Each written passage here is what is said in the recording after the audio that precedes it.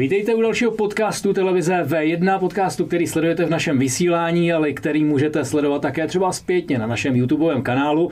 A jak už jste zvyklí, můžete ho i poslouchat na všech podcastových platformách, takže Google Podcast, Apple Podcast, Spotify, SoundCloud a tak dále. Mými dnešními vzácnými hosty jsou manželé Peškovi, Tomáš a Veronika. Krásný den.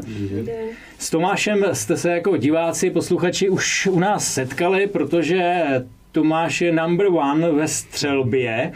Uh, sportovní střelba, jak se tomu říká tomu vašemu sportu? Eh, pistolová střelba. Pistolová střelba. Uh, můžeme zkusit zaspomínat, rekapitulovat, co všechno jste vystřílel? Máte v hlavě ty trofeje, které, které jsou? No trofej asi snad nějak to dám dokupy. No. První byla taková větší, tak mistr České republiky, několikanásobný. Člověk musí nějak začínat? Ano. potom, eh, potom hnedka mistr Evropy, to bylo v roce 2018 a ve 2019 mistr světa v Sydney. To je mistr světa. Určitě jste si všimli, vy, kteří nevidíte, tak Tomáš je na vozíku, Tomáš je handicapovaný, to znamená, on není obyčejný střelec, ale střelec mezi handicapovanými. Eh, eh, porovnáváte se třeba ve střelbě i se střelci, kteří, jaký tam rozdíl? Jaký vlastně v tom je rozdíl, když mají funkční nohy, eh, jinak se střílí, jinak se boduje? Nebo zkoušel jste to někdy takhle porovnat se? Ne, ne, boduje se stejně, klasicky se střílí ve stoje, Jo, ale tím, že my nemůžeme jako stát u toho, takže, takže v sedě to jsou pravidla jako upravený kvůli tomu trošku a nějak jako konkurovat jim asi nemůžeme tím zdravím, jo, protože tam, tam jsou ty, ty, ty čísla hrozně vysoký. Jo, jednou jsem se s nima dostal do finále, ale vypadl jsem jako, jako pátý, takže je to těžké, no, u nich uspět. No, že...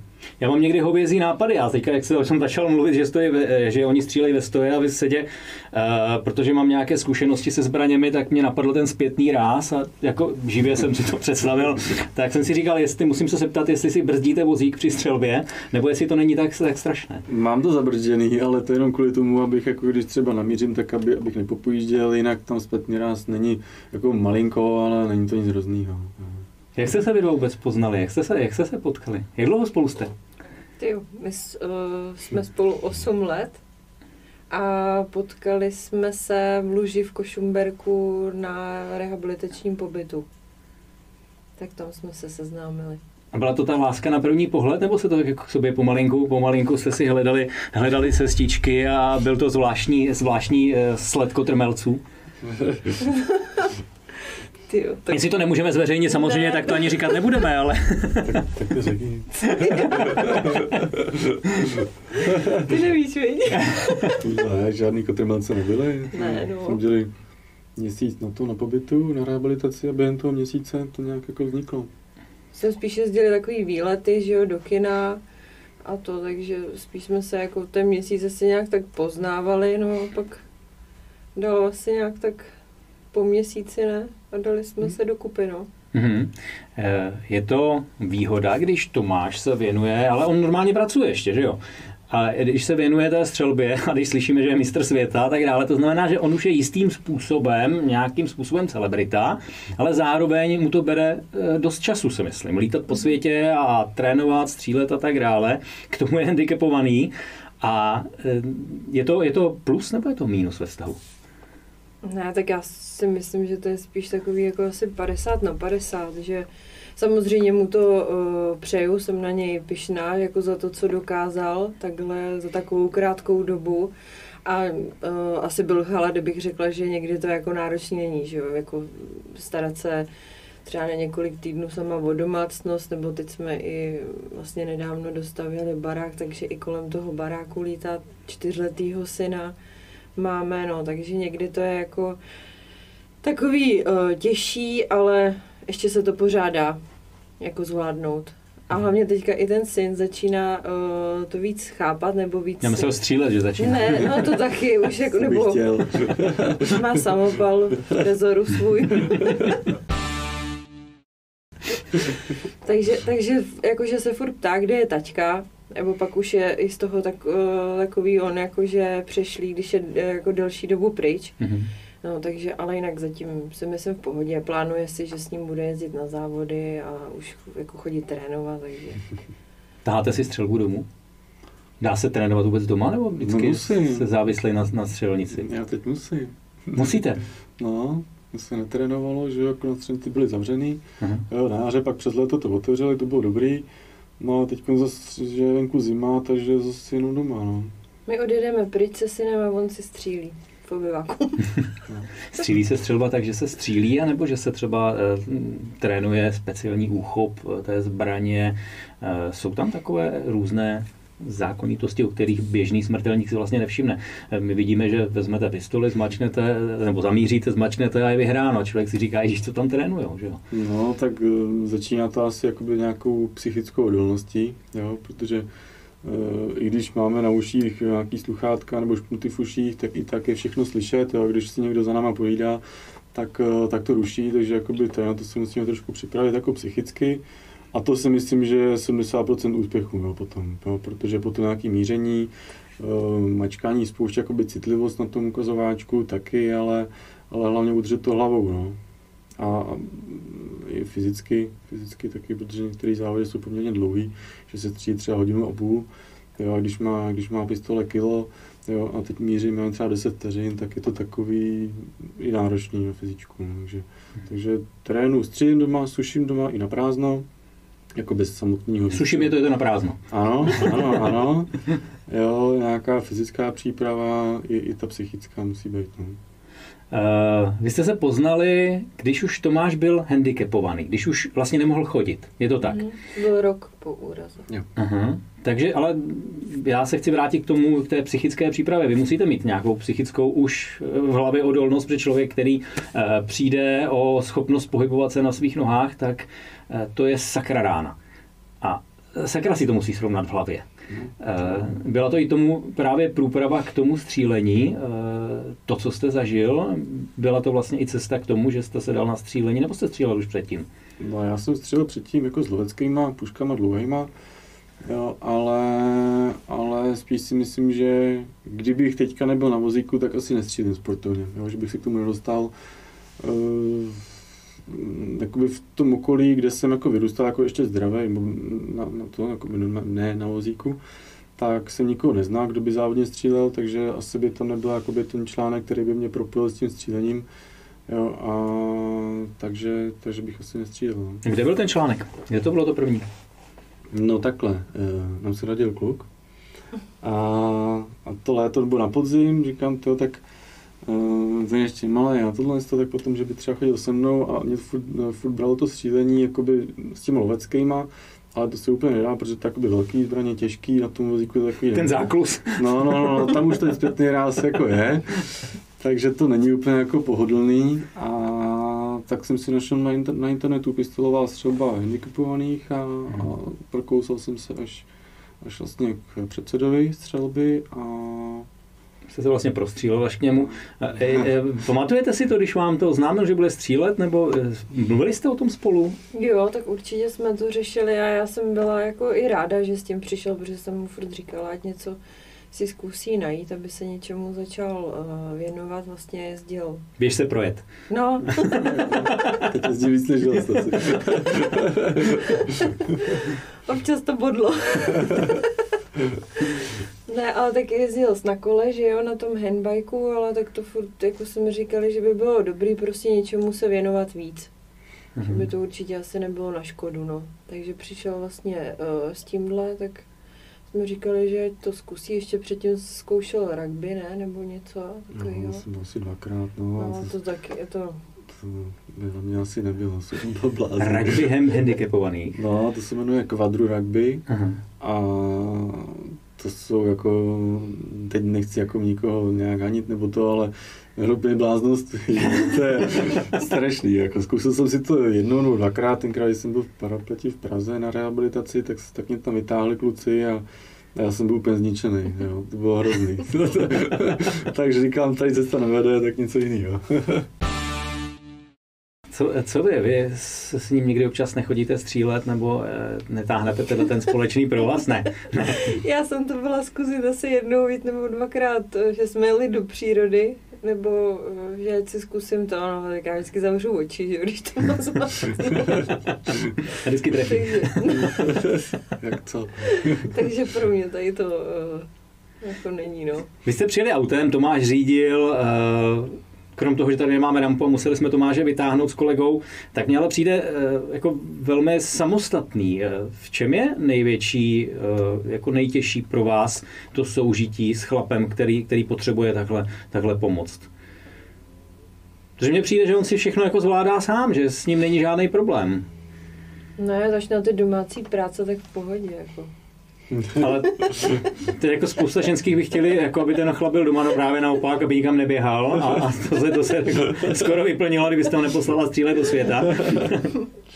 Ne, já si myslím, že jako my nějak nemám. Jako je pravda, že třeba uh, teďka, jak jsme se tady, uh, ty schody, že jo, jsou, tak někdy to musím, jako, že třeba uh, já zvládnout sama, tak jako je to někdy náročné, že si říkám, jestli ho pustím nebo nepustím, jestli to dám nebo ne, ale jinak uh, si myslím, že Tomáš je jakoby samostatný, jakože ode mě nějak uh, extra pomoc nepotřebuje.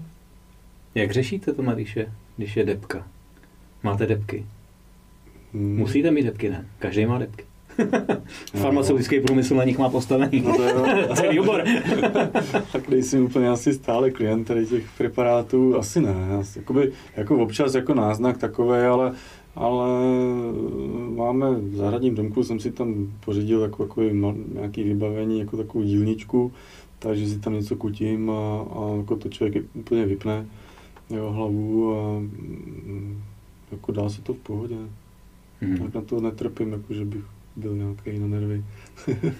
Co byste dělal, kdyby, vy jste při nehodě, při nehodě jste přišel do chůzi. Co byste dělal, kdyby, kdyby se to nestalo? Přemýšlel jste nad tím někdy?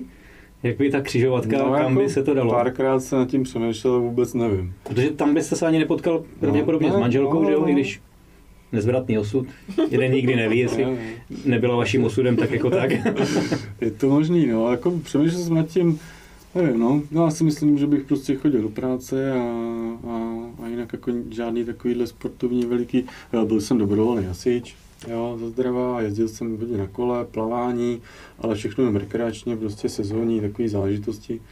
Nic, nic ve velkým, no, takže takový prostě klasický nudný život. Takže jak jedna nehoda dokáže člověku udělat ze života bez nudného života na jednou život velice, velice akční. To zní, to zní bizarně. tak je to jízda, ne? co, vy, co vy děláte? Kam chodíte do práce? Co děláte? No, já dělám teďka v reklamce, teď jako v nový reklamce a takže to je jako práce na počítači třeba, nebo nějaká manuální jo, práce? Víceméně jo, no, hmm. nějaký jakoby drobný manuální taky, ale spíš jakoby grafická příprava a tak no, na počítači. A tam vám vychází vstříc k tomu, že eh, jezdíte. Jak, jak, se, to, jak se to eh, slučuje vlastně s tím sportem a, a s rodinným životem? Jak tyhle ty tři eh, No takový kompromis, no, jako máme třeba na celý rok vlastně kalendář akcí všech sportovních nebo střeleckých a, z toho si potom vybírám jako pro mě ty nejzajímavější, nemůžu jít na všechny, protože bych zase jakoby nebyl doma nebo nebyl v práci, takže takový kompromis mezi, mezi vším. No. Takže člověk, když se to takhle krásně logisticky naplánuje, tak přijde korona. Jo, a je to, no. a co teď, co vlastně, eh, jak to zasáhlo do toho kalendáře, jak to zasáhlo do vašeho vnímání života, protože najednou si myslím, že jste víc doma, už vás musíš vážet doma, že už zastá to někam leč střílet. Jsem ráda, že má tu dílnu, no. Co vás, co vás čeká teďka? Co, co, co, jak to bude? Protože samozřejmě nevíme. Nevíme, co no, se otevře, neotevře, nevíme, ale... Nevíme, vlastně letos nebylo mezinárodního nic. Aha. Jo, to jsme nebyli nikde. Takže to, to mě trošku mrzelo, nebo ještě furt mrzí. Teď jsme měli odjíždět začátkem prosince do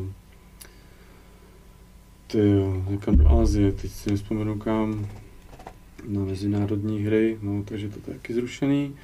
No teď první, co mě čeká, tak bude, nebo snad bude uh, Finsko, mistrovství Evropy. To je v únoru, březen, Arabské Emiráty, duben. To máte takovou jako životní saunu, budete nejdřív do zimy, jo, pak pojedete do tepla, no, no. nejdřív budete štupovat ponožky, pak něco budete vymýšlet s plavkama. No, a pak zpátky do zimy do Polska, v dubnu, v květnu Peru, Lima a přelom srpen, září, Tokio stihnete se podívat v těch zemích taky, že si jako užijete, protože to je velice krásný cestování. To jsou eh, exotické země, zajímavé země, ale většinou to bývá tak, že si člověk tam jenom vystoupí, zastřílí a zasmaže zpátky, a nebo tam stihnete nasát tu atmosféru trochu. Tak eh, pro mě asi největší zážitek byl, byl ta Sydney. Jo, my jsme tam měli asi dva volné dny, jako úplně bez tréninku, bez ničeho. Takže to jsme si udělali nějaký vejlet do toho do centra a po těch památkách a takhle. Jo. Takže to se nechalo, no, jinak, jak říkáte, no, jako že, vlastně vystoupíme, hnedka druhý den jdeme na přejímku, už jsou nějaký tréninky, další den je oficiální trénink, jo, a, a závod a trénink a závod a furt dokola, mezi tím bývá teda jeden den volný, jo, třeba v těch deseti dní, co, co střílíme, nebo co tam jsme, tak jeden den volný, akorát to, to si myslím, že, že všichni využijou pro to, aby nějak jakoby zregenerovali a odpočinuli si hlavně psychicky, jo, protože když jsme vlastně od rána do večera eh, na nohou nebo v pohybu někde prostě mezi hotelem a střelnicí a furt jakoby si člověk jakoby uvědomuje nebo, nebo se soustředí na to, jakoby na ten závod a trénink, aby prostě furt si to opakuje v hlavě furt dokola, tak je hlavně psychicky hodně unavený. Takže já třeba, i když střílíme třeba jenom denně dvě hoďky nebo tři, tak já potom jsem rád, že si ve dvě zalezu do postele odpoledne a do večera si válím a, a to, no, prostě odpočívám. Mm-hmm. Tomáš říkal, jak se připravuje eh, fyzicky a střelba a psychicky. Jak ho balíte mu kufry, když, eh, když, když valí? Jakože, to by jinak nevodil. Jo, určitě ne, ne, nepřipravuje se sám. ne. Děláte mu, děláte mu itinerář a, a staráte se třeba o jídlo, jako aby to moje jest tam a nezapomeň na jídlo a svačinu tady ti dám řízky. A... Ne, tak jako vždycky se ho zeptám, jestli něco nechce udělat sebou, nebo to tak jenom něco, nějaké drobnosti nakoupíme, ale jinak uh, oni si všechno spíš kupují po cestě nebo až tam. Jakože co se týče toho jídla, tak to ne. Nechce. Nechce tak tam jídlo máme na těch hokejových závodech, vlastně ani není možný si tam něco brát sebou jakoby za hranice, jo, vůbec, takže to tam všechno je zařízený. Jaký to je ten, eh, do Sydney se letí, to je pořádný ranec cesty, eh, jaký to je, když vlastně vozíčkář sedí, furt, vy furt sedíte mm. a letíte ještě takový kus, jak snášíte cestu, jak to funguje, je tam možný se někde protáhnout, eh, jak tam tohle, protože jedete ještě na závody, kde potřebujete být v kondici, že jo? No, to jo, no. Většina týmů to dělá tak, ne teda českých týmů, nebo, nebo nás, ale ale z těch jiných zemí to dělají tak, že třeba jedou 14 dní předem, aby si zvykli, odpočinuli si, jo, ten, ten časový posun si srovnali trošku a zvykli si na to prostředí na střelnici, že už tam jezdí třeba týden před vlastně zahájením, když je teda pustí, když si to domluví, jo, takže jakoby to je výhra pro ně. My to tak neděláme, co bychom měli. a je to náročný, no. to cesta to bylo, jakoby to Sydney, to bylo těžký, Vyletěli jsme eh, přes, eh, přes Katar, tam to trvalo pět a půl hodiny, tam čtyři hodiny na přestup, tak eh, na letišti, tak tam mají takovou jako místnost na odpočívání, mm takže jsme se tam jako na chvilku lehli, ale, ale já jsem neusnul. No a po 4 hodinách se zpátky do letadla a necelých 16 hodin do Sydney no, dalších, takže to bylo jako hodně výživný. Letadlo úplně narvaný, bez, beznadějně, jo, tam hlava na hlavě. Takže ani jsme se neprotáhli jako takhle rukama, jo, to, to nešlo. Hmm. Jo, úplně, úplně plno. No. Takže na zpátek to bylo lepší, to bylo méně lidí, ale tam to bylo šílený. No. Stáhnul jsem si různý seriály a filmy sebou, že budu koukat, já jsem byl tak zpruzle, že jsem se nepodíval vůbec na nic. Já jsem tam seděl a koukal jsem ty sedačky, ještě provokativně, tam jsou takový, že jo, ty televizky na operadlech a ještě tam byla taková smyčka, že zrovna ukazovala, kde jsme, jak daleko ještě poletíme a, to, a jak dlouho to bude trvat, tak to bylo hrozný. to tak koukat. Za vším hledej peníze, ta současná koronavirová situace asi zasahuje nejenom do těch eh, seriálů, těch šampionátů a přípravy a vlastně úplně všeho. Eh, neodradila třeba sponzory, protože co si budeme povídat, ten sport, a každý sport a každá jako aktivita stojí nějaké peníze a asi je to závislé na sponzorech. Eh, jak to, jak to vnímáte? Vnímáte to, že sponzoři mm, přešlapují, anebo ještě stále zaplať pámu, že, že nějaký peníze na tu střelbu jsou? Jo, tak zatím jsou. Uvidíme, jak příští rok, jestli snad se to teda povolí, takže by asi mělo být normálně klasická situace. Snad, snad to tak dopadne. No. Zatím, a je to přesně o tom, co jste říkal, že byste letěli třeba o týden dřív, je to právě o penězích? Že pokud byste měli tak silné sponzory, že byste dokázali ten týden tam být a v podstatě si udělat relaxační dovolenou a pak, a, a pak mohli střílet úplně v klidu, je to právě o penězích?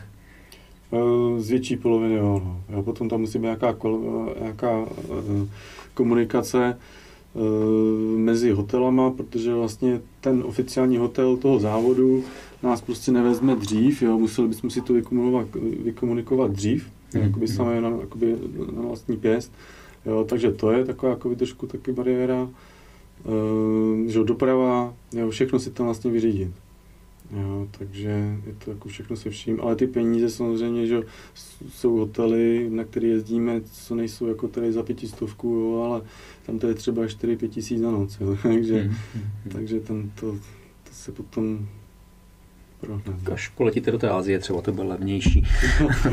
Veronika a Tomáš Peškovi eh, byli hosty eh, mého podcastu na televizi V1, podcastu, v kterém jsme se bavili o střelbě, ale také o tom, jaký je život s handicapem. Vy si ten podcast, eh, kromě vysílání, můžete pustit na našem YouTubeovém kanálu anebo na obvyklých podcastových platformách. Já vám děkuji, že jste eh, přišli, přijeli eh, do našeho studia Hradci Králové. Děkujeme. Díky a ať se vám daří. Děkuji, Díky. taky.